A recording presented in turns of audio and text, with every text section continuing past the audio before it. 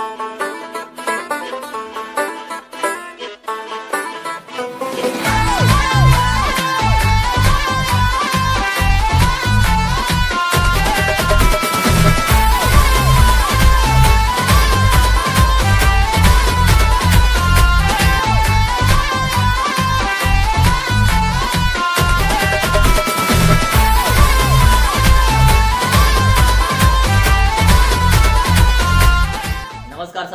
तीर्थराज तिवारी मैं अपने YouTube के चैनल पगले का फंडे के लिए वीडियोज़ बनाता हूँ। साथियों, आज एक बहुत ही अच्छी वैकेंसी आई है हमारे पास। वो मैं आप लोगों से शेयर करना चाह रहा था। तो दुबई से रिलेटेड मैं काफ़ी दिनों से वैकेंसी नहीं डाल पा रहा था। आती तो थी, लेकिन जिसपे दोस्तों ट्रस्ट नहीं होता, वो काम मैं नहीं करना चाहता।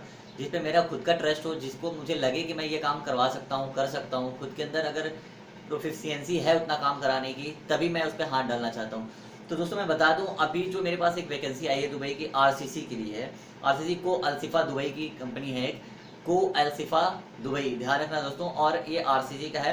इसमें जो आपको दोस्तों सैलरी मिलेगी, आपको सॉरी एक हज़ार से लेकर बारह सौ दिराम से मिलेगी, ठीक है? एक हज़ार से लेकर बारह सौ दिराम से मिलेगी। ये आठ घंटे का बेसिक सैलरी होगा दोस्तों, और प्लस इसमें ओटी होगा ओटी मतलब ओवर टाइम ठीक है? तो दोस्तों, आपका ये हो गया, और उसके बाद इसमें दोस्तों जो एज लिमिट है, वो 18 साल से ऊपर और लगभग 45 साल के नीचे होना चाहिए एज लिमिट दोस्तों एज लिमिट मैंने बता दिया, आपको अब मैं बता दूँ, इसमें जो आपका पासपोर्ट होगा, अगर जो E C N R passport है ई सी एन आर का मतलब होता है दोस्तों इमिग्रेशन चेक नॉट रिक्वायर्ड ठीक है?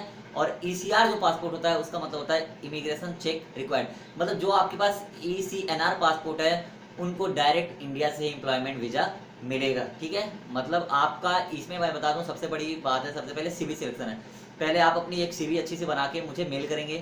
देन मैं उस, आपकी सीवी को मैं जो भाई उस कंपनी में फॉरवर्ड करूँगा और वहाँ से अगर ओके होगा कि नहीं, इस बंदे का सब कुछ कराइए मेडिकल वगैरह देन तभी मैं आपको मेडिकल कराने के लिए मैं भेजूँगा, ठीक है? अथॉराइज सेंटर पर तब आप सीवी सिलेक्शन में अगर सिलेक्ट हो जाते हैं दोस्तों, तभी आपका मेडिकल होगा, फिर देन आगे की प्रक्रिया आपको सिलसिलेवार बताई जाएगी, कॉल के माध्यम माध्यम से या व्हाट्सएप के माध्यम से या फिर ईमेल के माध्यम से, जो भी होगा, संभव पॉसिबल होगा, जो भी मीडिया उसी के तहत आपको इन्फॉर्म किया जाएगा दोस्तों।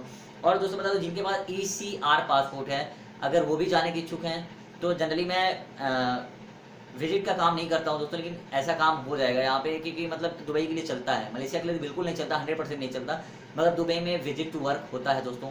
आप किसी से भी पूछ सकते हैं, किसी यूट्यूबर से, किसी भी एजेंट से, कि दुबई में चलता है।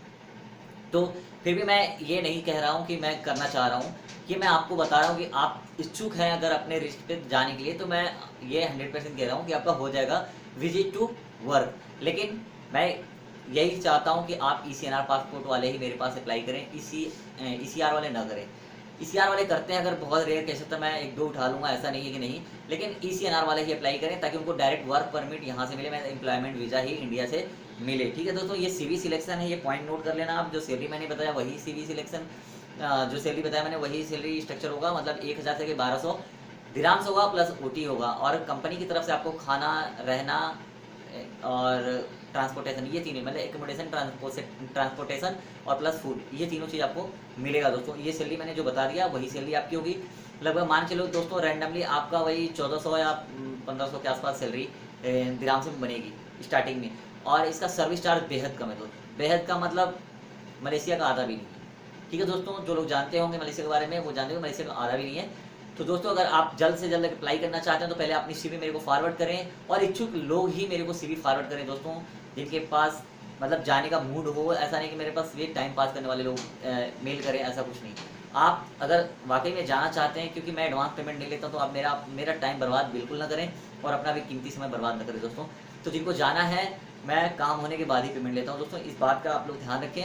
तो आपका पेमेंट तभी होगा जब आप आफ्टर वीज़ा पेमेंट है, दोस्तों। तो सबसे पहले इस बात का क्लियर कर लें कि आपको जाना है, तभी आप मेरे को सीवी सेंड करें। ठीक है दोस्तों, फिर मिलेंगे नेक्स्ट वीडियो में। तब तक के लिए नमस्कार, सत श्रीकाल आदाब, जय हिंद, जय भारत दोस्तों।